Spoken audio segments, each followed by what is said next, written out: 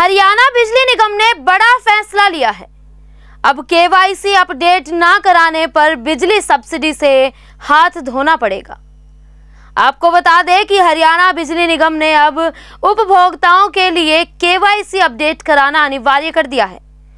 इसके चलते जो उपभोक्ता अपने कनेक्शन खाते में मोबाइल नंबर और आधार नंबर अपडेट कराएँगे, उन्हें ही सरकारी सब्सिडी का लाभ मिल पाएगा।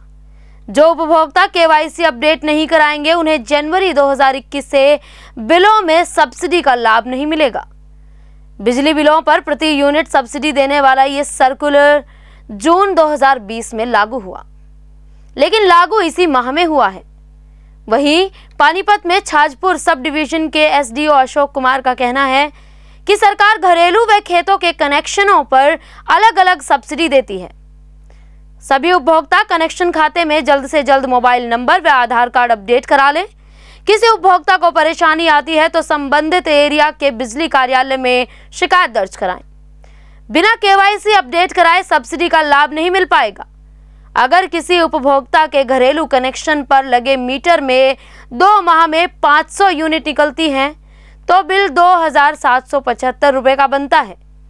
जो उपभोक्ता केवाईसी अपडेट करा देंगे, उन्हें दो हज़ार रुपये ही जमा कराने होंगे। ऐसे में चार रुपये का लाभ होगा। यूनिटों के कम व ज़्यादा होने पर लाभ राशि भी कम ज़्यादा हो जाएगी। बता दें कि 501 से 800 या अधिक यूनिट पर प्रति यूनिट रेट सात पॉइंट दस रुपये है। इस कैटेगरी में सब्सिडी नहीं मिलती। किसानों को निन्यानवे पॉइंट आठ प्रतिशत सब्सिडी मिल रही है।